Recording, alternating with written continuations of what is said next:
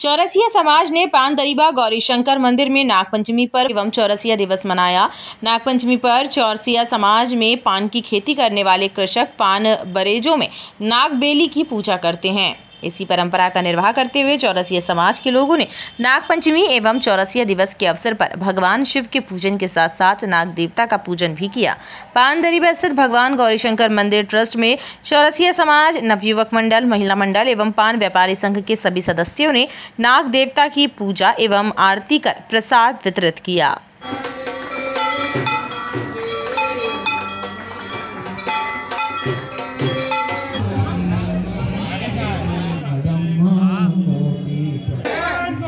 आज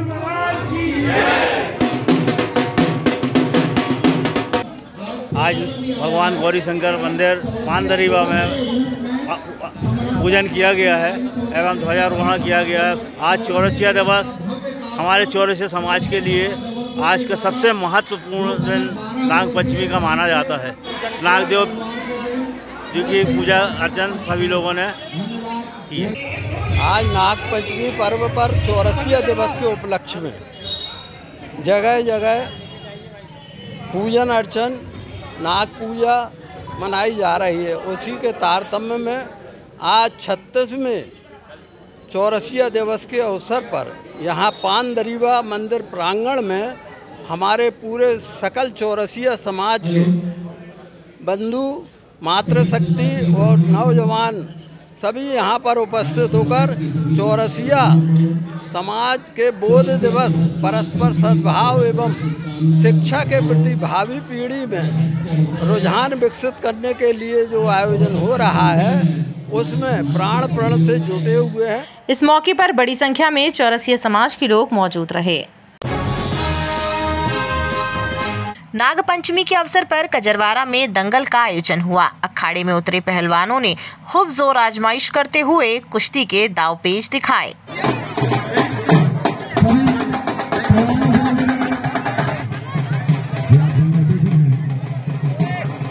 आयोजकों ने बताया कि नाग पंचमी पर दंगल का आयोजन करने की परंपरा कई वर्षों से चली आ रही है और इसी कड़ी में इस बार भी दंगल का आयोजन किया गया। इसका मकसद कुश्ती कला को बढ़ावा देना है ताकि भारत की ये कला जीवित रह सके और युवा वर्ग इसमें रुचि लेकर इस कला के ज़रिए देश का नाम रोशन कर सके। वहीं दंगल के समापन पर विजेताओं को पुरस्कार प्रदान किए गए।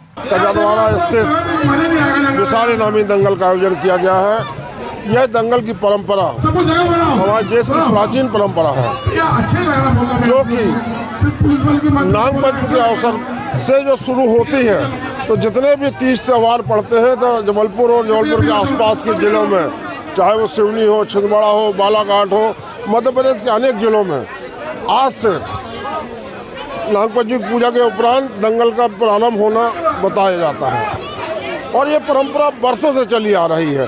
और आज ही से नए बच्चे जो पहलवानी में उतरते हैं, जो यहाँ बच्चे कुश्ती खेल रहे हैं, ये आगे जाके हमारे देश के भविष्य बनेंगे। पहलवानों को इससे शील्ड कप और नगद राशि का पुरस्कार भी उनको प्रदान किया जाता है उनके द्वारा। विशाल दिवस देना जाता है। मैं पूरे शहर वासियों को लांग मुझे अवसर बहुत सी बधाई देता हूँ। से ज़िंदगी में सहयोग दिया। हमारा उद्देश्य है कि जलपुर शहर ने कुश्ती में आगे बढ़ाने का उद्देश्य। और आज आप देख रहे हो जिस परिवार के माध्यम से एक विशाल दंगल जलपुर शहर में किया जाता है। इकतीसवा वर्ष तीस वर्ष पूरे हो चुके शुरू हो गया वहीं घाना खमरिया में भी नागपंचमी के मौके पर कुश्ती का आयोजन किया गया जिसमें 50 से ज़्यादा पहलवान शामिल हुए। वहीं प्रतियोगिता में बेहतर प्रदर्शन करने वाले पहलवानों को पुरस्कृत भी किया गया। ग्राम घाना खमरिया में विगत 24 वर्षों से लगातार हमारे द्वारा कुश्ती कला का प्रदर्शन किया जाता है और बच्चों को, पहलवानों को प्रोत्साहन करने के लिए हम अपनी ओर से भरपूर इनाम प्रदान करते हैं और उनका हौसला बढ़ाते हैं। ताकि वो जबलपुर स्तर ही नहीं, राज्य स्तर ही नहीं, बल्कि राष्ट्रीय स्तर पर और यहाँ तक कि विदेश में भी हमारे देश का नाम रोशन करें। विगत 24 वर्षों से लगातार और हमारे जंगल में सैकड़ों कुश्तियाँ होती हैं और दूर दूर एवं आसपास से पहलवान यहाँ पर उपस्थित होकर अपना कला का प्रदर्शन करते हैं, इनाम जीतते हैं। वहाँ से भी देख सकते हैं अगर किसी को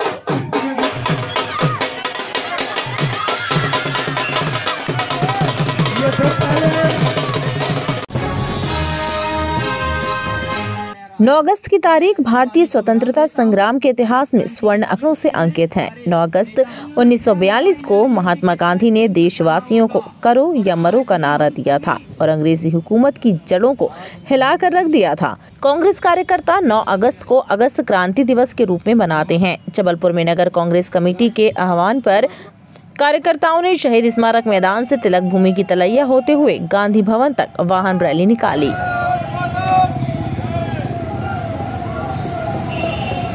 क्रांति अमर रहे अमर रहे अमर रहे वंदे मातरम वंदे मातरम राष्ट्रपिता महात्मा गांधी ने आज़ादी को लेके चिंतित थे कि उनने ये तक कह दिया कि करो या मरो। और आज का दिन इस देश के लिए सबसे महत्वपूर्ण दिन होता है कि आज के ही दिन ये संकल्प लिया था कि अंग्रेज़ों, भारत छोड़ो, करो या मरो, डू एंड डाई। ये स्लोगन महात्मा गांधी जी ने दिया था। आज के दिन आज़ादी के उन तमाम मतवालों को हम श्रद्धांजलि अर्पित करते हैं और देश की आज़ादी अक्षुण रही आए, इसके लिए संकल्प लेते हैं। टाउन हॉल, गांधी भवन पहुंचकर रैली, सभा में तब्दील हो गई, जहाँ कांग्रेस कार्यकर्ताओं ने स्वतंत्रता संग्राम के अमर बलिदानियों का पुण्य स्मरण कर उन्हें श्रद्धा सुमन अर्पित किए।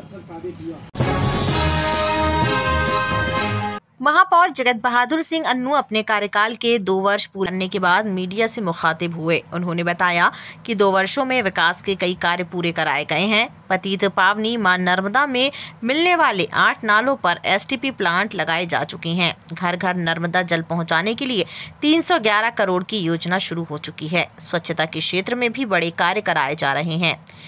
सीवर लाइन के शेष बचे हुए कार्यों के लिए 1000 करोड़ रुपए की योजना का डीपीआर बनकर तैयार है। अधोसंरचना के कार्य प्रचलन में है और बारिश के थमते ही सड़क सुधार के काम प्रारंभ किए जाएँगे। दो वर्षों में हम लोगों ने जो कहा वो किया और निश्चित तौर पर जो आगे कहेंगे उसको करेंगे। हम लोगों का माँ नर्मदा में गंदे नाले मिलने वाला संकल्प भी पूरा हुआ। अब साफ़ पानी माँ नर्मदा में जाता है। हम लोगों ने 303 करोड़ से ज़्यादा की राशि की सड़क और नालियों का निर्माण किया अधोसंरचना पर पैसा खर्च किया। हम लोगों ने 311 करोड़ से हर घर नर्मदा जल पहुँचाने का काम शुरू कर दिया और इसके पहले हम लोगों ने 50 करोड़ से ज़्यादा की राशि के इस बार जल पर काम किया, जिससे जल संकट बहुत मात्रा में राहत मिली हमको। जल प्लावन पे हम लोगों ने बहुत काम किया, चाहे स्वच्छता सफ़ाई की बात हो, चाहे स्वच्छता की रेटिंग की बात हो, चाहे स्वच्छता की रैंकिंग की बात हो बहुत पहले से सुधार हुआ। हम लोगों ने अतिक्रमण भी थे तो उसको तोड़े। हम लोग एयर क्वालिटी इंडेक्स में, हम लोग को 100 में से 100 अंक केंद्र सरकार ने दिए हैं, जो सिर्फ़ छः शहरों को पूरे देश में दिए और मध्य प्रदेश का हम लोग इकलौता शहर है। विकास के नाम पर हर पहलू पर कोई भी ऐसा पहलू नहीं है जो हम लोगों ने छोड़ा हो। दो वर्षों में ऐतिहासिक रूप से जबलपुर शहर में काम हुए हैं और अगले आने वाले तीन वर्षों में हमारा शहर विकसित होगा। इंदौर भोपाल से रेस में आगे दौड़ेगा और महानगर बनेगा। इस दौरान विधायक अजय विश्वनोई, विधायक अभिलाष पांडे और पूर्व मंत्री अंचल सोनकर, भाजपा नगर अध्यक्ष प्रभात साहू एवं मेयर इन काउंसिल के सदस्य मौजूद रहे। शहर स्वच्छता की दिशा में लगातार आगे बढ़ रहा है। इसी क्रम में रानीताल शमशान घाट के पास 120 टन कचरे की क्षमता वाला गार्बेज ट्रांसफ़र स्टेशन का लोकार्पण महापौर एवं क्षेत्रीय विधायक द्वारा किया गया। विवेकानंद वार्ड में स्थित इस प्लांट में छह कॉम्पैक्टर लगे हैं, जो 10 वार्डों से आने वाले कचरे को कॉम्पैक्ट करेंगे। करीब 9 करोड़ की लागत से बना यह प्लांट स्वच्छता की दिशा में महत्वपूर्ण साबित होगा। महापौर जगत बहादुर सिंह अन्नू ने बताया कि ये तीसरा प्लांट है और कुल आठ प्लांट बनेंगे। अखंड श्री बलम समर्पयामि। ओम चंद्रमा मनसो दातिशुचोः सूर्यो अजायत चमुख अग्निरजायत बोल विश्वकर्मा पहले तो मैं नगर निगम को इस बात के लिए धन्यवाद देता हूँ कि आप सबने जबलपुर को स्वच्छ बनाने की तरफ़ एक बड़ा कदम उठाया है हम लोगों ने आज 120 टन कचरे की कैपेसिटी का गार्बेज ट्रांसफ़र स्टेशन का लोकार्पण किया। 9 करोड़ की राशि से रानीताल शमशान घाट के बाजू में एक हम लोगों ने गार्बेज स्टेशन बनाया है, जिसमें हम लोगों ने छः बड़े बड़े कंपैक्टर्स लगाए हैं, जिसमें कचरा आकर हर कंपैक्टर में 20 टन का कचरा कंपैक्ट होके एक कंटेनर में रखा जा सकता है। और फिर वो कचरा उठकर कठौंदा जाएगा जहाँ पर उस कचरे से बिजली बनती है, जो आज ये लोकार्पित हुआ है। ये जबलपुर शहर की स्वच्छता के और विकास के लिए एक मील का पत्थर साबित होगा। इस दौरान भाजपा पार्षदगण एवं क्षेत्रीय विधायक अभिलाष पांडे भी कार्यक्रम में मौजूद रहे। कुदवारी क्षेत्र के एक पटवारी के साथ मारपीट होने की घटना सामने आई है, जिसके बाद पटवारी संगठन ने लामबंद होकर विरोध प्रदर्शन किया और कलेक्टर से मुलाकात कर कर्मचारियों की सुरक्षा की गुहार लगाई। पटवारी प्रवीण सिंह ने बताया कि कुदवारी क्षेत्र की एक सीलिंग की ज़मीन के मामले से संबंधित जाँच के निर्देश पनागर के क्षेत्रीय विधायक द्वारा दिए गए थे, लेकिन उसकी जाँच से वो असंतुष्ट हो गए एवं उसके साथ मारपीट कराई गई है। शिकायत प्रस्तुत कर जाँच करने के लिए कहा गया था। तो तहसीलदार महोदय ने हमें निर्देशित किया था कि तुम मौके पे जाके और जो मौका की स्थिति है वो अवगत कराओ प्रतिवेदन बना के पंचनामा बना के लेकर मैं पाँच तारीख को गया वहाँ और एक साथी पटवारी हमारे और थे वो भी गए नरेंद्र जी। और हम दोनों ने वहाँ मौके में जो देखा और लोगों से पूछताछ की। तो जो घर थे उनका लिखा जो दस्तावेज़ लोगों ने दिया मांगा दिया वो दस्तावेज़ लगा के पंचनामा बना के और तहसीलदार साहब को रिपोर्ट सबमिट किया था। तो उन्होंने विधायक जी बोले कि फ़ोन कर भी बोला कि एक कॉपी मेरे को भी चाहिए रिपोर्ट ले तो मैं गया था मेरे पास पीडीएफ थी उसकी तो वहीं उन्हीं के ऑफ़िस में उसकी प्रिंट निकलवाए और फिर दिखाया। तो उन्होंने बोला कि इसके खिलाफ जिसकी शिकायत करी इसके खिलाफ तुमने क्यों नहीं लिखा? मैं मैंने बोला था कि मतलब इसके खिलाफ लिखना है। तो इसके खिलाफ क्यों नहीं? तो मेरे को जब मौके में ऐसा कुछ साक्ष्य मिला नहीं, ना ही हमें वहाँ दस्तावेज़ ऐसा कुछ लोगों ने दिए तो बोले, तुम एक विधायक की बात नहीं मानते। और हमें गाली गलौज किया और माँ बहन की गाली दी और फिर बोले, तुम्हारा ट्रांसफ़र कुंडम कर देंगे। मैं बोला, ठीक है, कुंडम चला जाऊँगा सर, जैसा आपका आदेश होगा। तो फिर उसके बाद बोले, कुंडम तो बाद में जाओगे, पहले तो हम पीटेंगे तुमको। और फिर जो वहाँ लड़के थे ऑफ़िस में तो उनसे बोला इस गाली दे के बोला इस, इसको पीटो। तो उन्होंने फिर हमें मारा उनके ऑफ़िस में और फिर बाद में उनका जो सुरक्षा कर्मी था वो हमको वहाँ से बाहर निकाल दिया। बोला तुम जाओ। किस क्षेत्र के विधायक हैं? क्या जो है? विधानसभा 101 पनागर जिला जबलपुर। क्या नाम है विधायक जी का? श्रीमान इंदु तिवारी जी। इस तरह की आपके साथ जो मारपीट गई गई इसका क्या कहना है ये गलत है किसी भी मतलब कर्मचारी अधिकारी को मतलब के साथ ऐसा व्यवहार नहीं करना चाहिए ना ही किसी के साथ ऐसा करना चाहिए। जो अगर उनको मेरी जाँच से संतुष्टि नहीं थी तो जाँच वो और किसी से करा सकते थे और मतलब उस पर जाँच करवा के अपना कर सकते थे लेकिन हमारे ऊपर हाथ नहीं उठाना चाहिए। आपने थाने में इसकी कंप्लेंट अभी हमने थाने में कंप्लेंट नहीं की कलेक्टर साहब को ज्ञापन दिया है और कलेक्टर साहब ने बोला है कि आप थाने में एफ़ आई आर वहीं इस मामले में कलेक्टर दीपक सक्सेना ने पटवारियों को उचित कार्यवाही का आश्वासन दिया है। उन्होंने अपनी तरफ़ से एक बात कही है पटवारी जी ने। उसका इन्वेस्टिगेशन होना ज़रूरी है और जिस तरह की बात कही गई है कि मारपीट हुई है कुछ गाली गलौज हुआ है कुछ उस तरह का हुआ है उस तरह का जो इन्वेस्टिगेशन जो है वो पुलिस एजेंसी जो है वही कर सकती है इसको। पटवारी घबराए हुए एफ़ आई भी नहीं करे नहीं मैंने उनको मैंने उनको मैंने इसीलिए उनको बताया कि भाई उनको घबराने की आवश्यकता नहीं है। यदि किसी भी सरकारी कर्मचारी के साथ किसी तरह का कोई अभद्र आचरण होता है कोई मारपीट होती है तो उनको जो भी लीगल फोरम है उस पर उनको कंप्लेंट करना चाहिए। उसके लिए उनके पास पूरा संरक्षण है। प्राइम ऑफिसी जो मुझे जानकारी दी गई है वो ये दी गई है कि कुछ मारा पीटी हुई है कुछ अभद्र आचरण हुआ है। ऐसी स्थिति में इस तरह की जो कार्रवाइयाँ हैं वो पुलिस की एजेंसी के द्वारा होती हैं। उसमें ज़रूरी है कि जो है वो प्राथमिक सूचना जो है वो थाने पे दें और थाने वाले फिर उसमें प्रकरण दर्ज करके जो भी यथोचित कार्रवाई होती है इन्वेस्टिगेशन की वो कार्रवाई उसमें की जाती है। पटवारी संगठन ने कार्यवाही न होने पर हड़ताल करने और सामूहिक इस्तीफा देने की भी चेतावनी दी है। टेलीकॉम फैक्ट्री की ज़मीन को लेकर अतिरिक्त कलेक्टर द्वारा पारित आदेश को फैक्ट्री प्रबंधन के द्वारा हाईकोर्ट में चुनौती दी गई है। वहीं इस मामले को लेकर नागरिक उपभोक्ता मार्गदर्शक मंच ने भी एक हस्तक्षेप याचिका हाईकोर्ट में दायर की है, जिसमें बताया गया है कि फैक्ट्री प्रबंधन ज़मीन को बेचना चाहता है, ऐसी जानकारी प्राप्त हुई है। लेकिन उस ज़मीन पर लगभग बीस हज़ार पेड़ लगे हैं, जो शहर के लिए ऑक्सीजन टैंक कहलाते हैं। यदि इस भूमि को बेच दिया जाएगा तो यहाँ की हरियाली भी नष्ट हो सकती है और बड़े पैमाने पर पेड़ों की कटाई होने से पर्यावरण को भी क्षति पहुंचेगी। पूर्व में राज्य शासन ने लगभग 20 एकड़ भूमि शासन के नाम पर घोषित कर दी गई।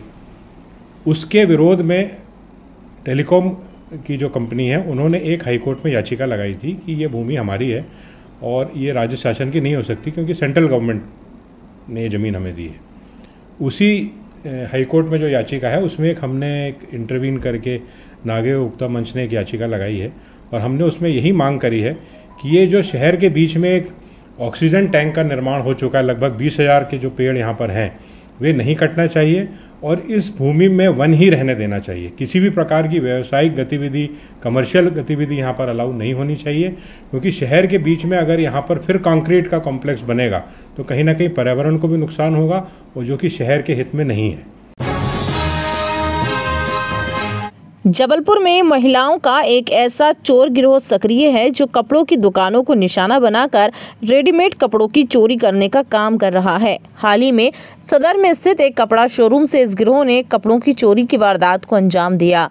इस मामले की भनक शोरूम संचालकों को तब लगी जब उन्होंने स्टॉक चेकिंग की। इसके बाद शोरूम संचालकों ने शोरूम में लगे सीसीटीवी वीडियो के फुटेज खंगाले। तब ये हकीकत उनके सामने आई।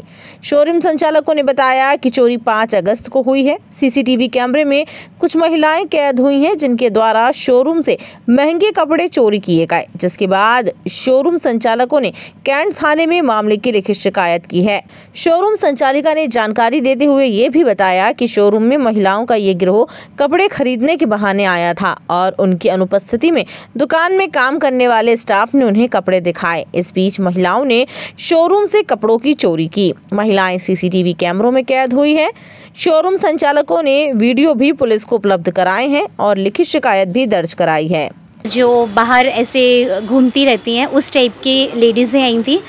पहले दो आई, फिर दो आई, फिर दो इकट्ठी आई। तो मतलब छः लोग आए थे अंदर। वो मैंने कैमरे पे देखा जब मुझे मेरा स्टॉक नहीं मिल रहा था। जब मैंने स्टॉक टैली किया तो मेरा न्यू स्टॉक जो भी आया था, वो पूरा नहीं था। तो जब मैंने स्टॉक टैली किया तो ये पता चला कि उस दिन जो पाँच तारीख को लोग आए थे, यहाँ से चोरी हुई है। नब्बे से एक लाख के कपड़े लेके गए हैं, क्योंकि उन्होंने बोला कि तीन से चार हज़ार की रेंज दिखा दीजिए। और एक लेडी आके कोने कोने पे जाके उसने कपड़े इकट्ठे किए, कुछ ने अपने बैग्स पे डाले, कुछ ने स्टोल के अंदर डाले, कुछ साड़ी के अंदर डालकर वो यहाँ से निकल गई और मेरे यहाँ की लड़की को ये भी नहीं पता चला कि चोरी हो गई है। जब हमने कैमरे में देखा, तब हमें पता चला कि ये चोरी हुई है यहाँ पर।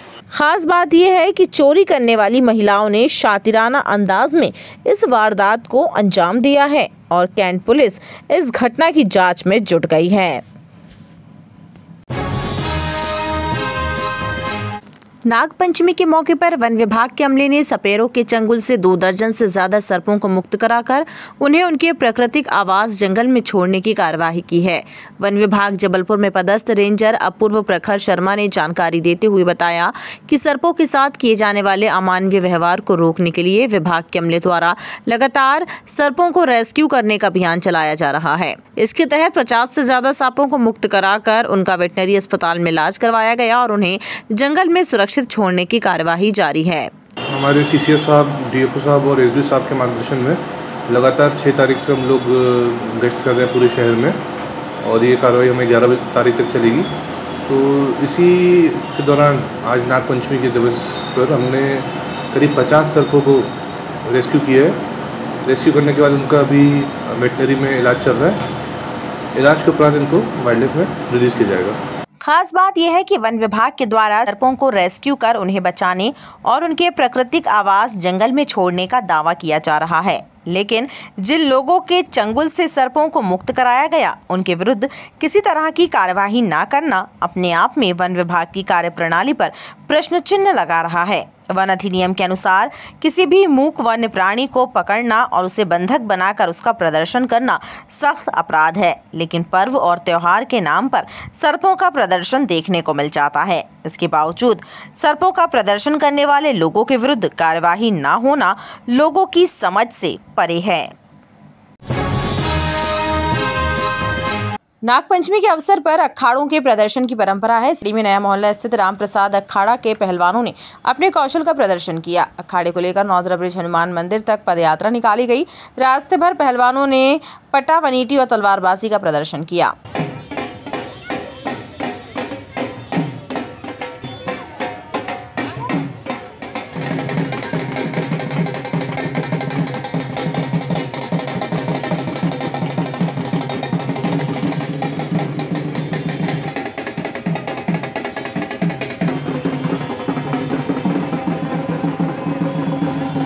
आज नाग पंचमी के अवसर पर प्रतिवर्ष के अनुसार इस वर्ष भी श्री राम प्रसाद उस्ताद अखाड़ा नया मोहल्ला के द्वारा आज सदस्यों के द्वारा एक जुलूस निकाला जाता है, जो नया मोहल्ला से प्रारंभ होकर यहाँ नौदरा पुल में महावीर मंदिर, हनुमान जी के मंदिर में समाप्त होता है।